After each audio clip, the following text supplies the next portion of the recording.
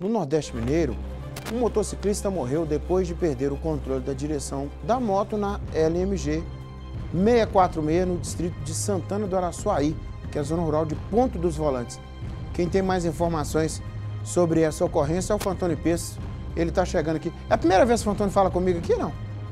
É, boa tarde para você, Fantoni. Boa tarde, Nicomedes. Boa tarde a todos que nos acompanham pelo Balanço Geral.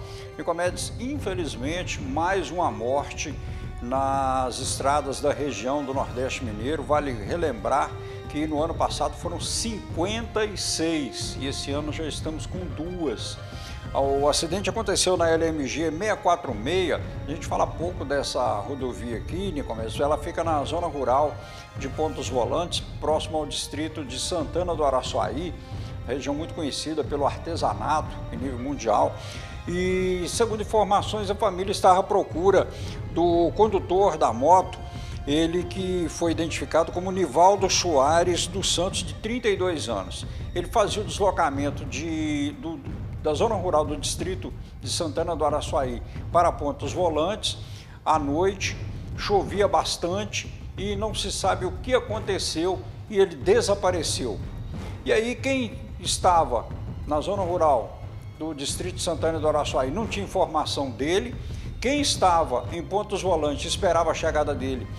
Ele nunca chegou e aí começaram as buscas. Mas devido às chuvas, as buscas foram até interrompidas. Mas depois que a chuva passou, aí o, o próprio irmão dele retomou as buscas e infelizmente já encontrou a moto caída e ele sem vida. A polícia foi acionada, compareceu ao local, fez os levantamentos, a perícia fez também o um estudo do ambiente, mas infelizmente Nicomedes, devido à falta de testemunhas de pessoas no local para poder determinar o que aconteceu, vai ser somente mesmo o estudo da perícia mais prolongado para determinar o que aconteceu. E o que se pede é que os motociclistas Nicomedes, em situações é, não favoráveis, como por exemplo chuva na zona rural, que tomem cuidado, vai que os nossos sentimentos, né, apresentamos à família os nossos sentimentos pelo passamento do Nivaldo Soares dos Santos, de 32 anos, mas a gente tem que aproveitar para pedir aos motociclistas que tenham cuidado, que pratiquem a direção defensiva. A moto já é um equipamento, já é um veículo que chega rapidamente ao seu destino, tem muitas versatilidades mas infelizmente tem pouquíssima segurança, Nicomedes. E aí depende de vários fatores para se determinar a questão do deslocamento seguro. Então o que se pede é que os motociclistas observem essas questões, está chovendo muito na região, e aí rodovia, estrada, você já viu, você passa agora, daí a cinco minutos quando você volta, já é outra história.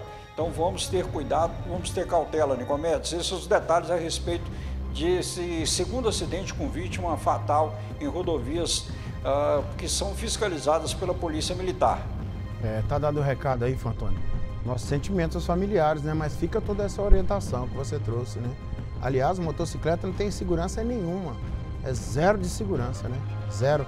Obrigado, viu, Fantônio?